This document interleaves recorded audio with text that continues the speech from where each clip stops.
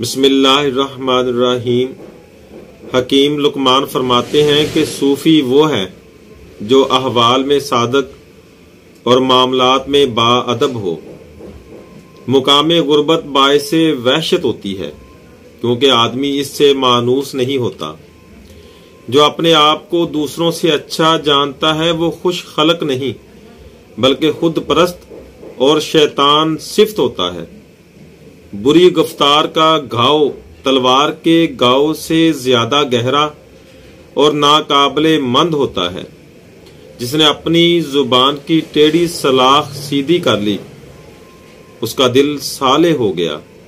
जब ज़ुबान सीधी राह इख्तियार करती है तो कलब साले हो जाता है। सब्र शुक्र दो ऐसे साथी हैं, जो एक दूसरे के बगैर हासिल नहीं हो पाते। मासवाए अल्लाह ताला के दुनिया में कोई भी ऐसा नहीं जो लोगों के ऐबों पर पर्दा डाले। पाकिजा वही है जो सारी दुनिया में किसी भी शय से पेवस्ता ना हो, ना ही दुनिया से और ना ही आखरत से और ना ही अपने नफ्स के साथ। औलिया अल्लाह रहमत के साएबान हैं। अगर ये ना हो तो दुनिया जहन्नम का नमूना बन जाए। गुनाह एक ऐसा नासूर है, जिसको तरक ना किया जाए तो बढ़कर नाकाबले इलाज बन जाता है।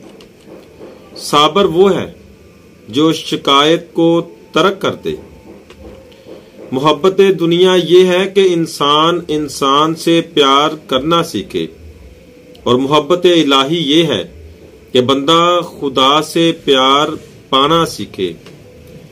पाकिजा सिर्फ़ वही है जो तमाम अलाय के दुनिया से पाक हो। खजूर को अगर दूध के साथ इस्तेमाल किया जाए तो 40 मर्दों के बराबर ताकत आ जाती है। अल्लाह पाक हम सब के लिए आसानियाँ पैदा फरमाए। दुआओं में याद रखें। अल्लाह हाफिज़।